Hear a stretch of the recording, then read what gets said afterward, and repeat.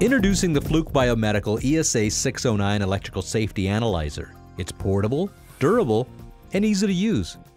You'll quickly notice the size of this analyzer. With the weight of only a pound and a half and convenient hand strap, it's one of the most portable analyzers in its class. The ESA 609 also has a rubberized case that protects it from damage if accidentally dropped, making it ideal for on-the-go testing. Notice how the ESA 609 only has a few buttons. This user-friendly design allows for rapid testing and ease of use. It also has a tilt stand giving you multiple viewing options while testing. Let's take a closer look at its basic testing capabilities. The ESA 609 integrates all functions needed to test medical devices when patient lead testing is not required, including line voltage, or mains, ground wire resistance or protective earth, equipment current, leakage current, and point-to-point tests. Notice how fast the ESA 609 cycles between tests, making it possible for basic testing in minutes.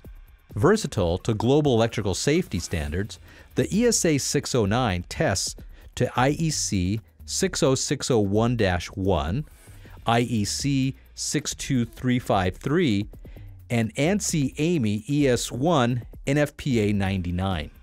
To begin testing, plug the ESA 609 into an outlet. The ESA 609 will perform a series of self-tests and prompt you to select a test standard. For the purpose of this test, we'll select the AAMI ANSI ES1. Today we'll perform a chassis leak test on this infusion device. Next, plug the device under test into the ESA 609 test receptacle.